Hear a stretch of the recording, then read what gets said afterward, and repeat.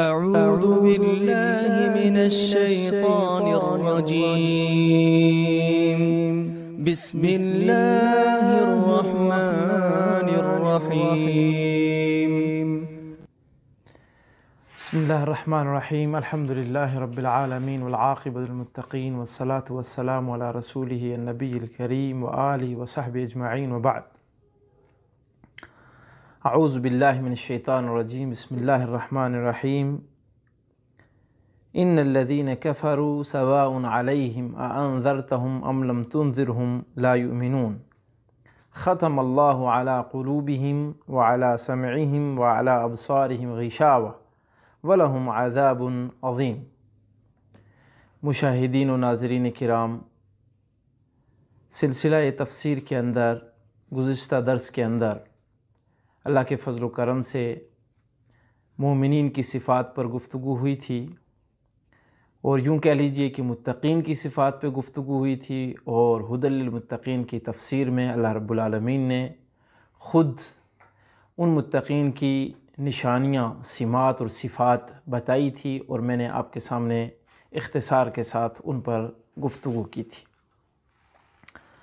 उसके बाद आज ज़िक्र हो रहा है उन लोगों का कि जो लोग कुफ्र और इल्हाद के दलदल के अंदर अपनी ज़िंदगी गुज़ारते रहे और जो लोग गुज़ारते हैं, अल्लाह रब्बुल फरमा रहे हैं ऐसे लोगों के बारे में इन लदीन कफ़रू सवा अलहिम अनजरतहम अमलम तंज़िरहम ला युमिनून। ए प्यारे नबी सल्लल्लाहु अलैहि वसल्लम, जिन लोगों ने कुफ्र किया है और कुफ्र के दलदल के अंदर और कुफ्र के अंधेरे और जुल्मात के अंदर इस कदर उन्होंने अपने आप को झोंक दिया है। कुफ्र की तारीकी उनके ऊपर इस कदर छा गई है कि आप उनको डराएँ या ना डराएँ बराबर है।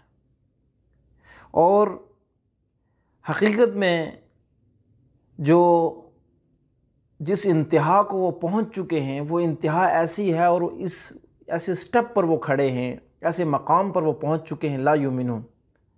ला युमिनून, वो ईमान नहीं लाएँगे। आपका ए प्यारे नबी वसल्लम, उनको डराना, उनको ना डराना, उनको समझाना, ना समझाना तमाम बराबर है। मुफसरीन ने यहाँ पर एक बहुत अहम नुक्ते की तरफ़ तवज्जो दिलाई है। वो क्या है? कि कभी भी अल्लाह के अहकाम, कुरान पाक की आयात और रसूलुल्लाह वसल्लम की निशानियों के सामने, अहदीस के सामने।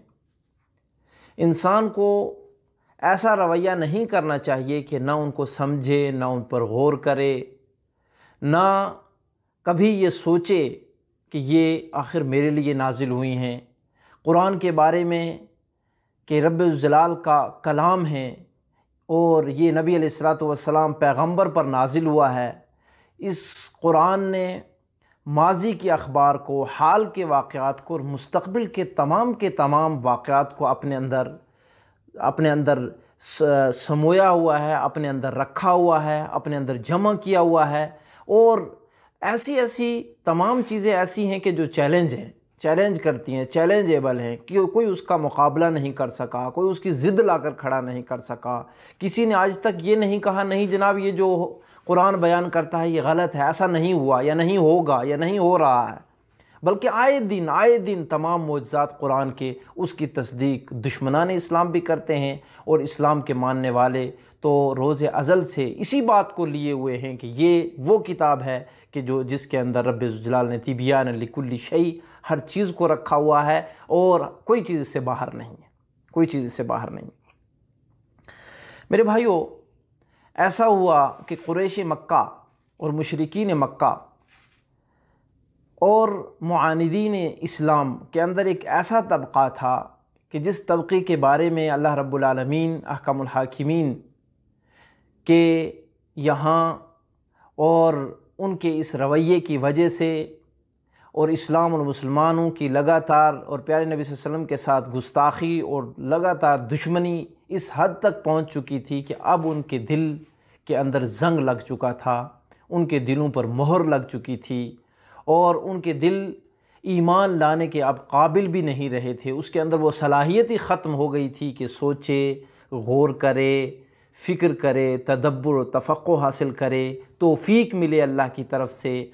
ये तमाम चीज़ें इस वजह से ख़त्म हो गई थी कि उनके आमाल और उनकी मुसलसल जो दुश्मनी थी, उसकी वजह से उनके दिल इस काबिल ही नहीं रहे थे।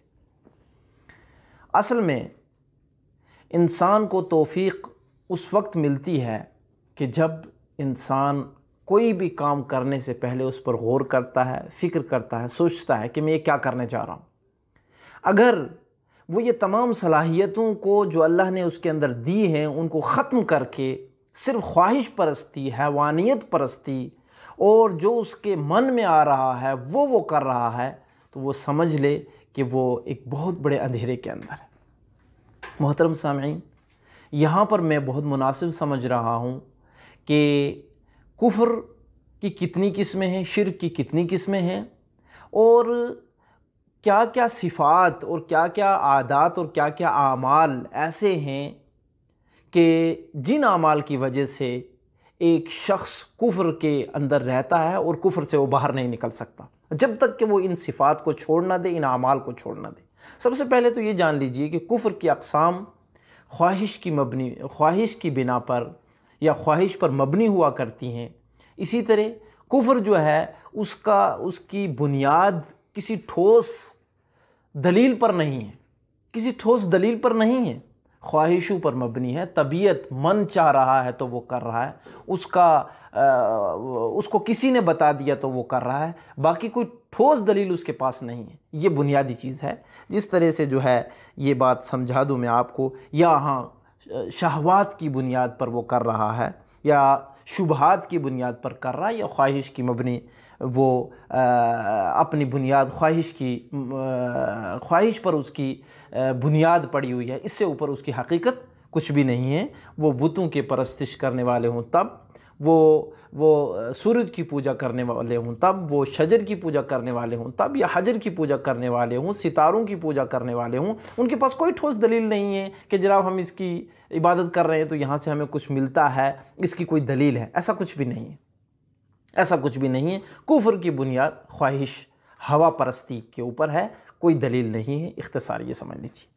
लेकिन सिफ़ात ज़रूर जान लीजिए, सिमात ज़रूर जान लीजिए, वो आमाल ज़रूर जान लीजिए कि जो जो शिरक पर मबनी होते हैं और शिरकियात और कुफर की बुनियादी वजह उनके ये आमाल होते हैं, जब तक वो इन आमाल को नहीं छोड़ेंगे, तब तक वो ईमान वाले नहीं हो सकते, तोहद परस्त नहीं हो सकते, वो उन लोगों को हिदायत नहीं मिल सकती।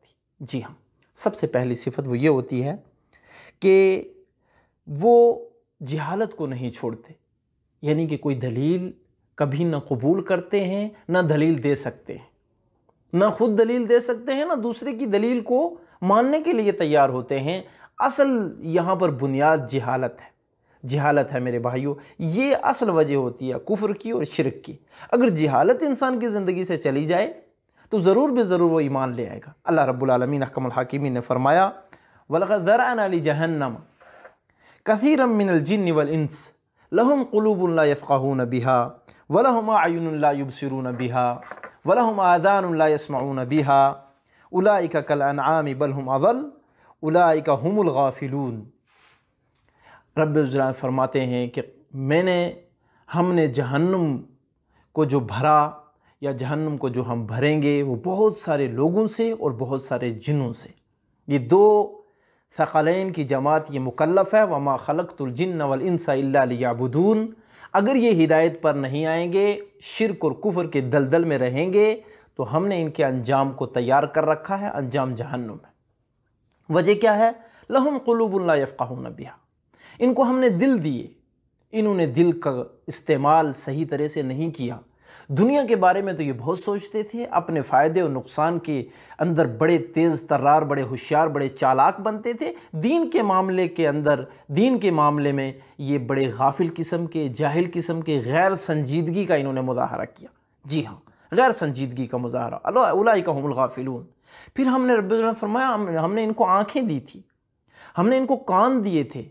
ये खूबसूरत अज़ा इनके जिस्म में रखे ताकि ये हमारी निशानियों को सुने भी और ख़ुद आँखों से देख भी ले, पढ़ भी ले।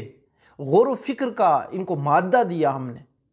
लेकिन ऐसा नहीं हुआ, बल्कि इन्होंने इनसे काम नहीं लिया, आँखों से देखने का काम नहीं लिया, हक को। और इसी तरह से कानून से हक को सुनने का काम नहीं लिया। उलाई का कलन आमी बल हम अबल ये तो चौपायों की मानद है, बल्कि उससे भी गए गुज़रे हैं। यहाँ पर मुफसरीन ने बड़ा एक खूबसूरत जुमला जो है वो रखा है और जुमला इसकी तफसीर के अंदर लाए हैं कि एक जानवर भी अगर सामने पहाड़ आ जाए, सामने दरिया आ जाए, सामने आग आ जाए तो वो उसमें छलांग नहीं लगाता, रुक जाता है।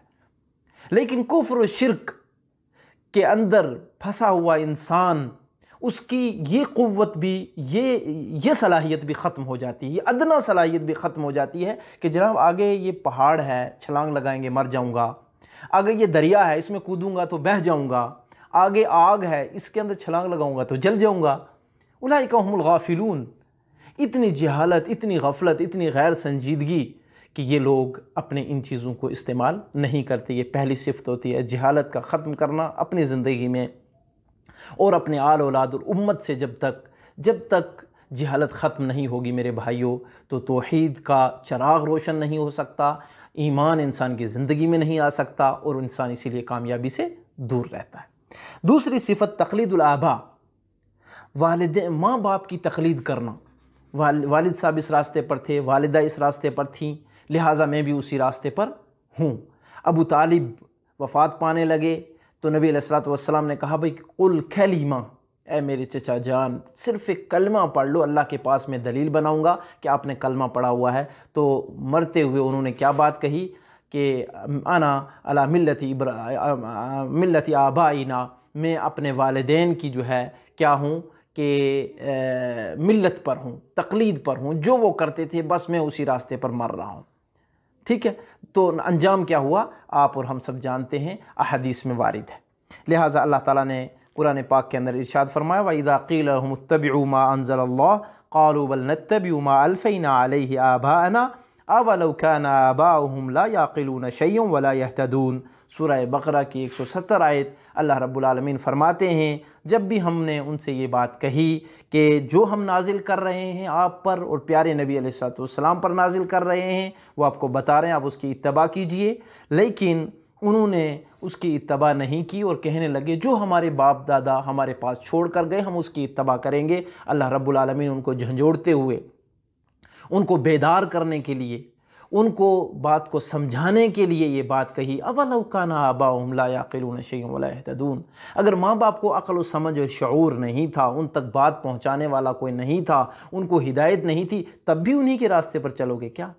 तब भी उन्हीं के रास्ते पर, मुख्तसर सा एक खुलासा है, बड़ी बड़ी एक छोटी सी मिसाल ले लीजिए, वालदेन ने एक छोटा सा घर बनाया हुआ था। बच्चे पढ़ लिख गए, फौरी तोड़ देते हैं, तोड़ के एक अच्छा घर बना लेते हैं, क्योंकि उनकी ज़रूरत है। दीन के मामले के अंदर जो असल है जिसके लिए हमारी पैदाइश हुई है, उसके मामले में इतनी गैर संजीदगी, इतनी जिहालत और इंसान इतना लापरवाह किस्म का कि नहीं, माँ बाप जो करते थे वही ठीक है। तो फिर माँ बाप के घर पे आप क्यों नहीं रह रहे उनका घर क्यों तोड़ रहे हैं? जब वहाँ समझ रहे हैं कि नहीं, उनको ये डिज़ाइन जो उन्होंने किया, इसमें पर्दा नहीं है, इसके अंदर थोड़ा मेहमान खाना नहीं है वज़ू खाना नहीं है, फ़लाँ चीज़ नहीं, फ़लाँ चीज़ नहीं, लिहाजा वालदेन को इतना पता नहीं था और वो इतने पढ़े लिखे नहीं थे, उनके पास इतना उस वक्त जो है वसाइल नहीं थे, लिहाजा आज हम उसका इस्तेमाल करेंगे तो आज दीन के मामले में क्यों नहीं इस्तेमाल कर रहे भाई? गौर करने की बात है। तीसरी सिफत मन ज़क़ा ज़क़़त का इनकार करने वाले लोग होते हैं वो लोग दुनिया के बड़े हरीस किस्म के होते हैं और दीन के मामले में वो बड़े, इस मामले में बखील होते हैं। लिहाजा ये भी सिफ्त जो है मुशरकिन की बताई गई है। इसी तरह से तलबुल मुआजात इस्तकबारन, अल्लाह रब्बुल आलमीन से और नबी अपने, नबी सलाम से और उमम सबका में जो अम्बिया थे, उनके मानने वालों ने भी जो लोग ईमान नहीं लाते थे, उनकी एक सिफत ये भी थी तकबर करते हुए अपने अम्बिया वसलाम से और इसी तरह मशरकिन मक्का ने भी बार बार ये बात कही कि भाई, फ़लाँ मुआज़ा दिखाओगे तो हम ईमान लाएँगे, फ़लाँ मुआज़ा दिखाओगे तो हम ईमान लाएँगे और फ़लाँ मुआज़ा दिखाओगे तो हम ईमान लाएँगे। ये उनका तकबराना रवैया था, हसदन, हसद का रवैया था। लिहाजा ये मशरक़ की एक सिफत रहती है। मुझे याद आया एक शख्स मेरे पास आए, कहने लगे, जी, मेरी बहन की तबीयत ख़राब है। हमने उनको समझाया कि भाई शिरक व बिदात और ये तावीज़ और ये जो धागे पहने हुए हैं और फ़लाँ और फ़लाँ और ये तमाम चीज़ें आप ना कीजिए। कहने लगे, बस मेरी बहन ठीक हो जाए, फिर मैं तमाम घर वालों को कह दूँगा, आप ये रास्ते छोड़ दीजिए। छोड़ दीजिए। यानी कि वो खुद समझने के लिए ये बात तैयार नहीं कि जिस रास्ते पर हम चल रहे हैं, कुरान, हदीस ने हमें मना किया, हमें रुक जाना चाहिए। आप ये क्यों कहते हैं? ये ये तो ठीक उस वक्त होगी बहन आपकी, हमने कहा कि जब अल्लाह ताला चाहेंगे, बीमारी अल्लाह ने दिया है तो शिफा भी अल्लाह ताला देंगे। आप शरीयत के बाहर जाकर इलाज क्यों करवा रहे हैं और कौन सा इलाज ढूंढ रहे हैं कि जो शरीयत के बाहर है और अल्लाह की नाफरमानी उससे हो रही है, मेरे भाइयों? इसी तरह इख्तिसार के साथ मैं आपको ये भी बात बता देना चाहता हूँ कि जादूगरों के पास जाना और जादूगरों की तस्दीक करना और उनको अपना मर्जा बनाना नफ़े और नुकसान का नवज़बिल्ला मालिक समझना, ये भी एक शिरक और मुशरकिन और कुफर की निशानियों में से और उनकी आदात में से है। इसी तरह से तकदीर के मामले में झगड़ा करना और झगड़ालू बनना तकदीर के मामले में, ये भी रबाल ने फरमाया सैक़ुल्लिन अशरक़ा अल्लाह अशरकना वला आबाउना वला हर्रमना मिन शही अगर हमारे अल्लाह रब्बुल आलमीन चाहते तो वो न हम शिरक करते, न हमारे माँ बाप करते और न हम हराम करते कोई चीज़ पर। अल्लाह फरमाते कदालिक कदबल्लिन मिन कबलहम हत्याक़ू बसना कुल हल इंदकुम मिन इल्मिन फ़तुखरजूह लना, इन तत्तबिऊन इल्लाज़न इन अंतुम इल्ला तखरसून। और बहुत सारी आयात बैनात इस पर दलालत करती हैं। कि मुशरकिन तकदीर के मामले में बहुत ही झगड़ालू किस्म के होते हैं। ये बड़े इख्तसार के साथ मैंने आपके सामने इसलिए चीज़ें रख दी कि कहीं हम कलमा गो, कलमा पढ़ने वाले भी आज बहुत सारे उम्मत मुस्लिमा के अंदर ऐसे लोग हैं कि जो इन सिफ़ात से कुछ ना कुछ उनके आमाल में इसकी आमेज़श पाई जाती है। आखिरी सिफत यह है कि इस्लाम से दुश्मनी करना, मुसलमानों से दुश्मनी करना और कुफर का साथ देना। कुफर का साथ देना ये मुशरकिन और कुफ़ार की अलामतों में से है रबाकमलहाकिमीन ने कुरान पाक के अंदर इरशाद फरमाया लतजिदन अशदन्नासी अदावतल्लिन आमनु अलयहूद वल्लदीन अशरकू वलतजिदन अकरबहम मवदतल्लिन आमनुल्लदीन कालू इन्ना नसारा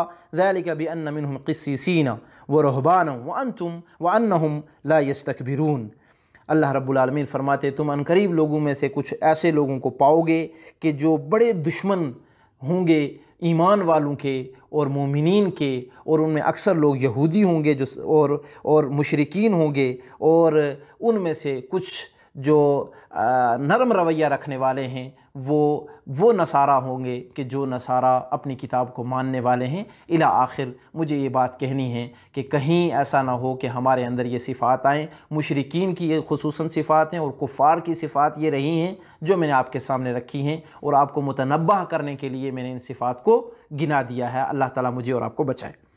फिर दूसरी आयत के अंदर फरमाया कि वो ईमान नहीं लाएँगे इसलिए ख़त्म अल्लाह क़लूबिहिम व अला समईहिम व अला अबसारहिम अज़ाबुन अज़ीम। अल्लाह ताला ने उनके दिलों पर, उनके कानों पर मोहर कर दिया है, उनकी आँखों पर पर्दा कर दिया है और उनके लिए बड़ा अजाब है। ये वो सबब है कि जिस सबब, जिस बिना पर वो ईमान नहीं ला सकते। और मैंने दलील पहले दे दी कि दिलों पर मोहर का माना ये है कि दिल उनके समझने से कासिर हैं हक़ को, और आँखें देखने से कासिर हैं, और कान सुनने से हक़ को कासिर हैं। रब फरमाया, ऐसे लोगों पर, ऐसे लोगों के लिए बहुत बड़ा अजाब है। यहाँ एक नफीस से किस्म का नुक्ता आपके सामने रख कर बात को ख़त्म करूँगा, और इल्मी गोशे आपके गोशे गुजार कर दूँगा कि अल्लाह रब्बुल ने कान को जो है आँखों पर तरजीह दी है।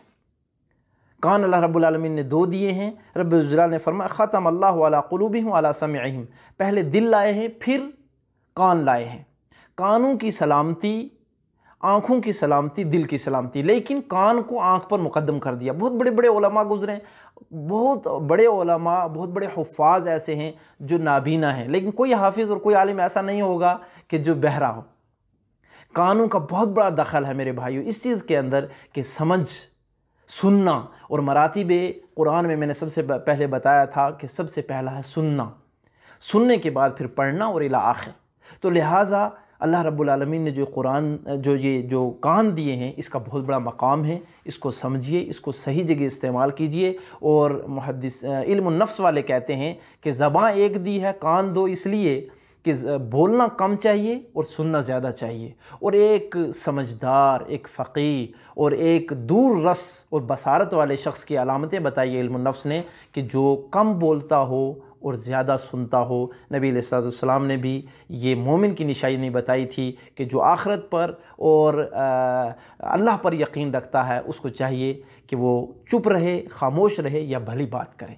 लिहाजा मैं और आप इस चीज़ के ज़्यादा हकदार हैं। इल्मी गोशों में से और अमली गोशों में से सबसे पहले ये बात जहन में रखें कि ख़ुद भी अपने आप को कुफ्र से बचाएँ और कुफ्र की अलामतों और शिरक की अलामतों को बचाएँ और दूसरों को भी उससे बाखबर करें। इसी तरह से अपने दिल, अपने कान और अपने आँख का बेहतर इस्तेमाल कीजिए। ज़रूर अल्लाह रब्बुल के पास इसकी पूछ होगी। अल्लाह रब्बुल ने इसका हमें हुक्म दिया है। दुआ गो हूँ अल्लाह ताला से कि अल्लाह ताला हमें अमल करने की तोफ़ी अता फ़रमाए आमीन वसल्लल्लाहु अलैहि नबी करीम अस्सलाम वालेकुम व रहमतुल्लाहि व बरकातुहू